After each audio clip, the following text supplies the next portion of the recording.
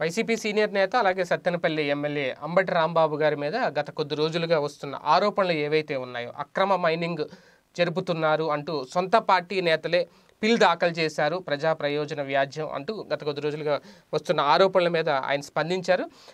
తాజాగా ఆయన ఒక వీడియో రిలీజ్ చేశారు. ఆ వీడియో యొక్క సారాంశం ఏంటి అంటే ప్రధానంగా ఆయన కొన్ని అంశాలను ప్రజలకు వాస్తవాలు తెలియచేసే పనిలో కొన్ని అంశాలను బయటపెట్టడం జరిగింది. నిజంగా అక్రమ మైనింగ్ గనక జరిగింది అనే ఆధారాలు ఉంటే ఎటువంటి ఇన్వెస్టిగేషన్కైనా తాను సిద్ధం అంటూ ఒక అంటే ఒక ప్రకటన చేశారు. ఇటు ప్రభుత్వం అయినా సరే లేదంటే న్యాయస్థానం అయినా తన మీద విచారణ జరిపించవచ్చు అనేది. అయితే ఇక్కడ ప్రధానంగా ఆయన కొన్ని అంశాలనైతే ఇక్కడ బయటపెట్టడం జరిగింది. నెమలపురిలోను అలాగే పిడుగురాళ్ళ దాచేపల్లిలో సున్నప్రాయలు ఉన్న మాట అయితే వాస్తవమే. కానీ అక్రమ మైనింగ్ అయితే ఎక్కడా జరగట్లేదు అని చెప్పడం అసలు మైనింగ్కి ఆయనకి ఎటువంటి సంబంధం లేదు అని. అయితే ఇక్కడ సొంత పార్టీ నేతలే ఫిల్ వేశారు అనే దాని మీదే ఆయన ప్రధానంగా ఇద్దరు పేర్లు బయట పెట్టారు. ఒకటి పప్పుల శ్రీనివాసరెడ్డి అలాగే నల్లగొర్ల రామయ్య. అయితే ఇద్దరు వైసీపీకి చెందిన సానుభూతి పరులు అని చెబుతున్నారు కానీ అందులో వాస్తవం లేదు.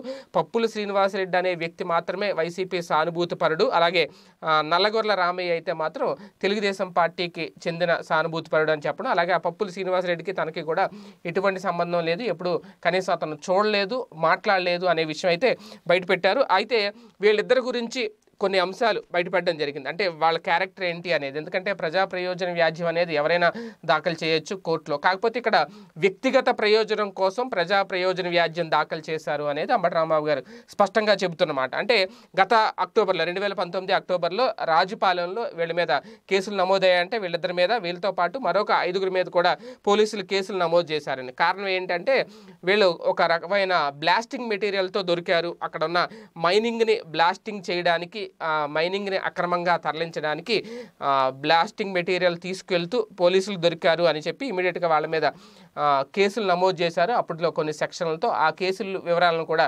బయటపడడం జరిగింది అంబటి రాంబాబు గారు. అంటే ఇప్పుడున్న పరిస్థితుల్లో తనకి ఎటువంటి మైనింగ్లు అయితే తన పేరు మీద అయితే లేవు.